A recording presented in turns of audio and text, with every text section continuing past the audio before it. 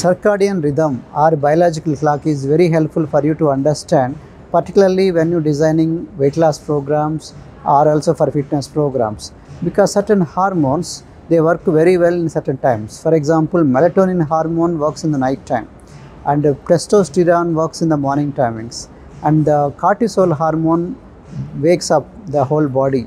So serotonin hormone works very well in the afternoon time. Sometimes temperatures will increase certain timings. Certain time highest bp will be in certain timings. So once you understand all these terminology it will be helpful for you to design exercises diet and uh, what kind of diet to be taken big diet small diet early morning diet all those things very uh, play will, will be very crucial to understand.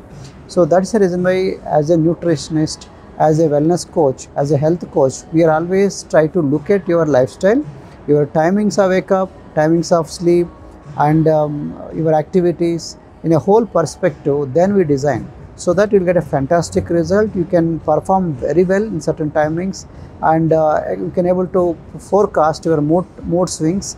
Then accordingly we can able to adjust the program. Diet exercise and lifestyle.